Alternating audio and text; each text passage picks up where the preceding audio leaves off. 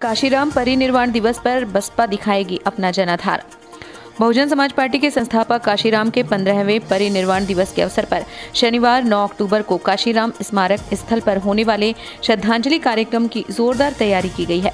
आगामी विधानसभा चुनाव के मद्देनजर बसपा सुप्रीमो वर्ष 2006 के बाद एक बार फिर नीले रंग के फैलाव के ज़रिए पार्टी के जनाधार की व्यापकता का संदेश देने की पूरी कोशिश करेगी। पार्टी नेतृत्व का दावा है कि मायावती इस बार 2006 से बड़ी लकीर खींचने की तैयारी में है। इस कार्यक्रम में मायावती मुख्य अतिथि होंगी और वहाँ मौजूद पार्टी पदाधिकारियों, कार्यकर्ताओं व जनमानस को संबोधित करेंगी। वर्ष 2006 में लखनऊ के रमाबाई स्थल पर एक बड़ी रैली करके मायावती ने अपनी पार्टी की ताकत दिखाई थी। वर्ष 2006 में लखनऊ के रमाबाई स्थल पर एक बड़ी रैली करके मायावती ने अपनी पार्टी की ताकत दिखाई थी और उसके बाद वह सत्ता में 2007 में आ गई थी।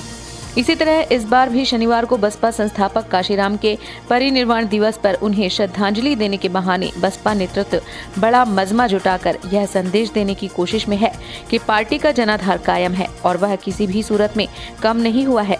इस कार्यक्रम में पार्टी के राष्ट्रीय महासचिव सतीश चंद्र मिश्र समेत पार्टी के अन्य प्रमुख पदाधिकारी व नेता शामिल रहेंगे, जिसमें राष्ट्रीय महासचिव, राज्यसभा सांसद, मुख्य सेक्टर प्रभारी इलाहाबाद, मिर्जापुर लखनऊ मंडल डॉक्टर सिद्धार्थ, मुख्य सेक्टर प्रभारी इलाहाबाद, मिर्जापुर मंडल अमरेंद्र बहादुर, भारतीय राजू गौतम, मुख्य सेक्टर प्रभारी प्रयागराज समेत तमाम मंडल के कार्यकर्ता पदाधिकारी भी उपस्थित रहे।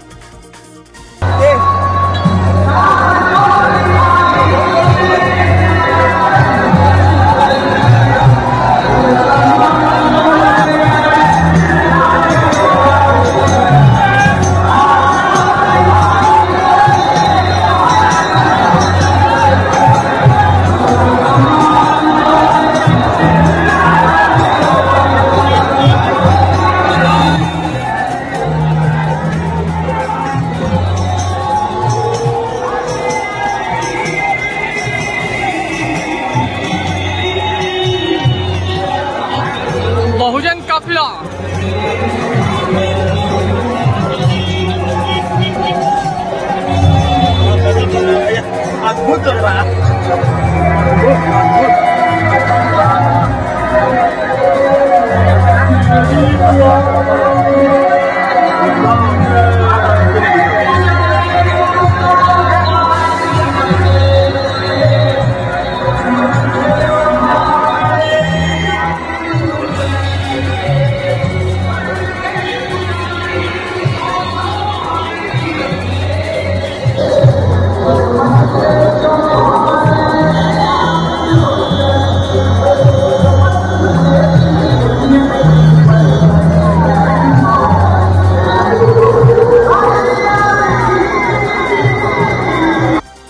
report UFD Live.